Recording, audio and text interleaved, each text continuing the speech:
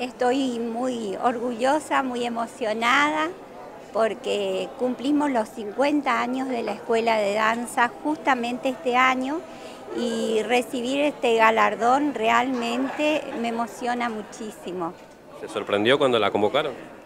Sí, me sorprendió, realmente me sorprendió. Y lo primero que pensé es el recuerdo de mi madre que me apoyó desde mis primeros pasos y en estos eventos así la recuerdo y la traigo a mi memoria y festejar el Día realmente de la Mujer, eh, con esa mujer que recuerdo con tanto amor y bueno, estoy feliz.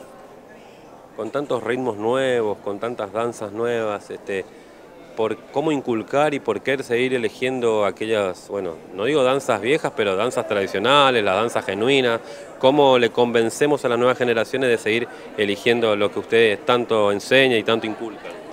Yo creo que cuando se une lo espiritual, el cuerpo y la música, no hay nada que pueda superar eso porque estamos haciendo eh, el movimiento del cuerpo que es lo, que, lo tangible, con aquello que es etéreo, y llevarlo a nuestro espíritu, a nuestro corazón, eh, es inigualable, realmente.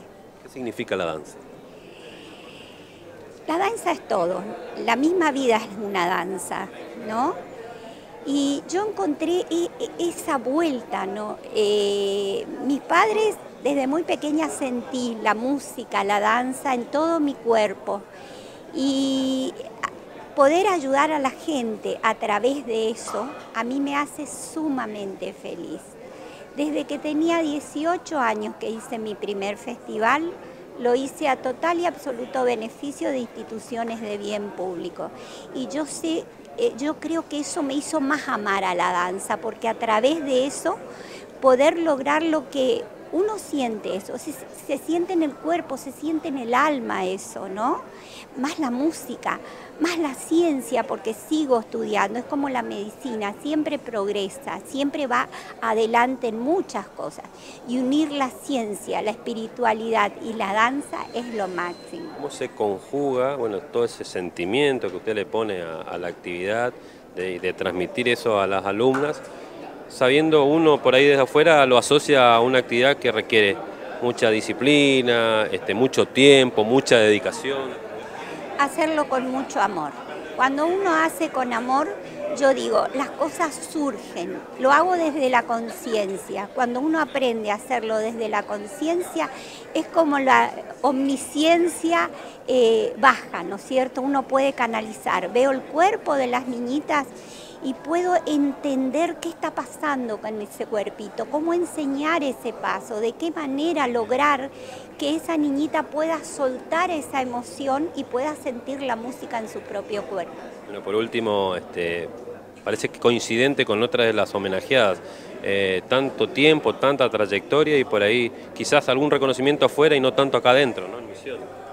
Sí, eh, bueno, pero yo creo que siempre sentí mucho placer, entonces es como que decir, bueno, me reconocen, pero primero tuve que reconocerme yo. Una vez que yo me puedo reconocer, eh, sí puedo aceptar el reconocimiento de afuera. Una más, ¿queda el legado? ¿Qué viene después? ¿Hay otras profes ya que, que van a tomar la posta? Sí, esta noche tenemos una gran bailarina que va a representarme, eh, criada por mí, por decirlo así, nació en nuestra escuela, así que me pone muy feliz, muy orgullosa y, y sé que es una gran persona, porque yo siempre digo que primero hay que ser una gran persona y después se puede ser una gran bailarina.